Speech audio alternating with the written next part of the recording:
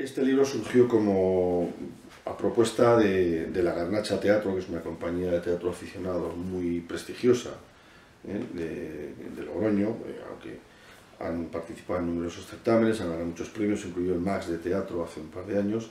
Ellos, eh, en realidad es una obra de encargo, ellos me propusieron escribir estos monólogos y a la hora de seleccionar los personajes nos pusimos, aportamos cada uno nuestra lista de, ilustres mujeres, y, coincidimos en bastantes.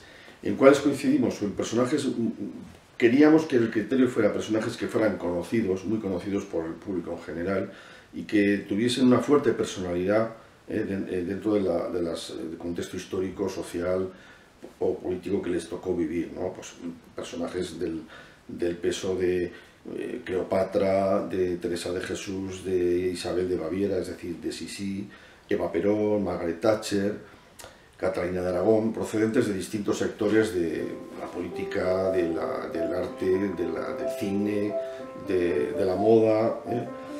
Y la última pieza eh, es una pieza que interpretan tres, tres de las seis esposas de, Enrique VIII, ¿eh? que esperan su turno en el juicio de la historia que va a juzgar a, a su marido común y están esperando su turno para declarar jugando una partida de cartas. Es un homenaje Sí, porque todas de alguna manera mm, son mujeres mm, con un fuerte carácter, muy corajudas, habría que decir.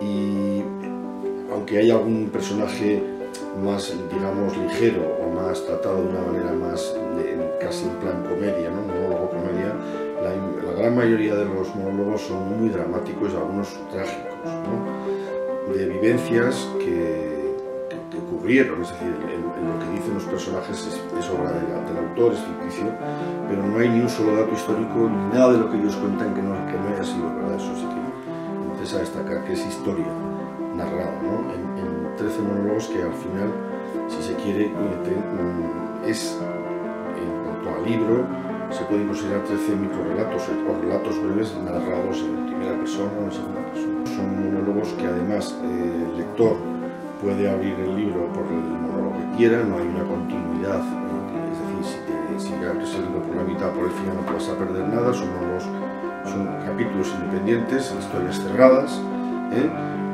solo que había que ordenarlas de alguna manera y pues, lo que más lógico es el cronológico, desde Cleopatra hasta Margaret Thatcher están ordenados de acuerdo a su época, pero son, son independientes y se pueden leer independientemente.